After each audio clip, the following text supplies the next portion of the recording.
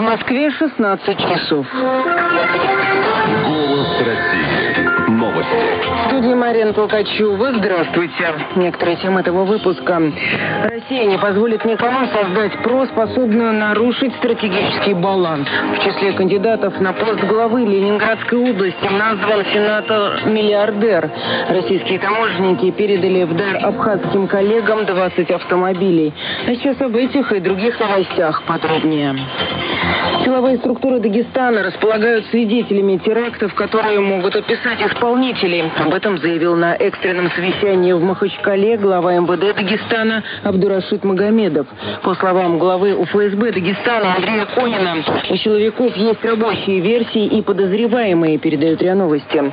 Согласно предварительным данным, накануне вечером возле поста полиции на выезде из Махачкалы взорвалась машина со смертником.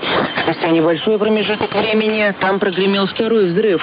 Бомба была установлена, как предполагается, в припаркованном вблизи поста ДПС автомобиле «Газель». По последним данным МВД погибли 13 человек, в том числе 8 сотрудников полиции. Более 100 пострадали.